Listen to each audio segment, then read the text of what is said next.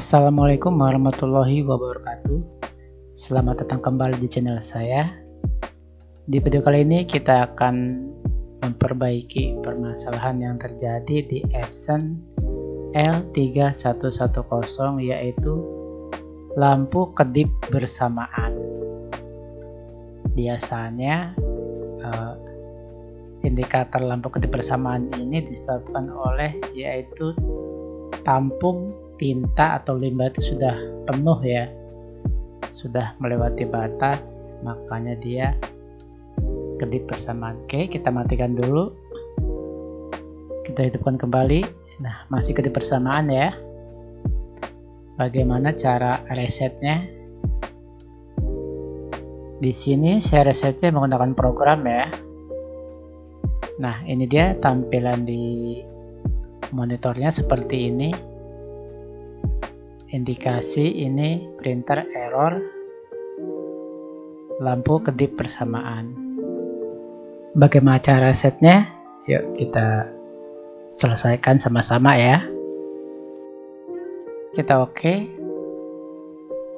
lalu kita buka programnya ya. Bagi teman-teman yang belum punya silahkan cari dulu. Cara meresetnya seperti ini ya kita double klik programnya.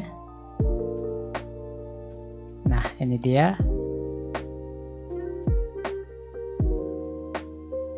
Uh, portnya biarkan auto select aja ya. Coba kita cek selectnya.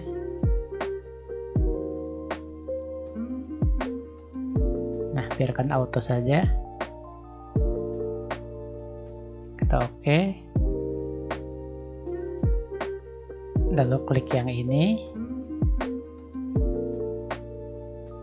Nah ini dia pembuangan untuk tinta ya limbah tinta. Oke kita checklist dulu ya di sini.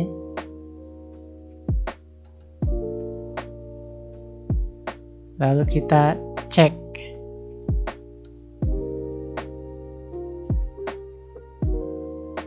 maka jumlahnya akan terlihat ya. Ini dia jumlahnya.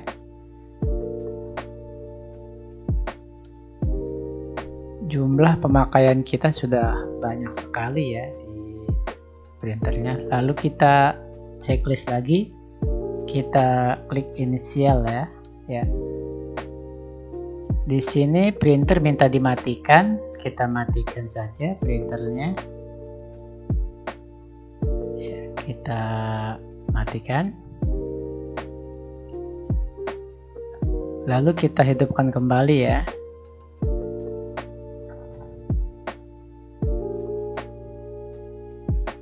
Ya kita hidupkan kembali.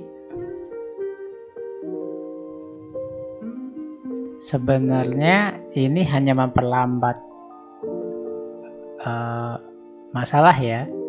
Masalah sebenarnya itu tabung pembuangannya harus dibersihkan.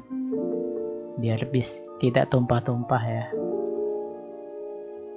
Di video berikutnya mungkin saya coba bersihkan saya bongkar ya tinta pembuangannya. Oke sudah selesai. Kita coba tes print. Apakah sudah bisa print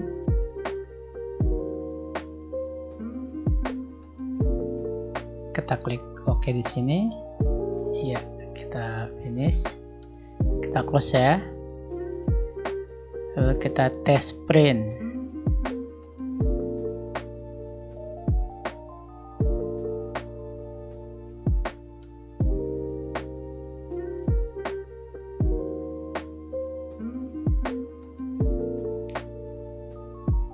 Oke kita print ya.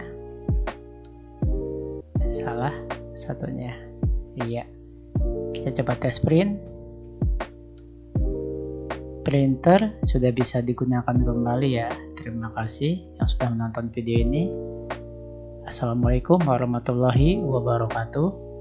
Sampai jumpa di video kami berikutnya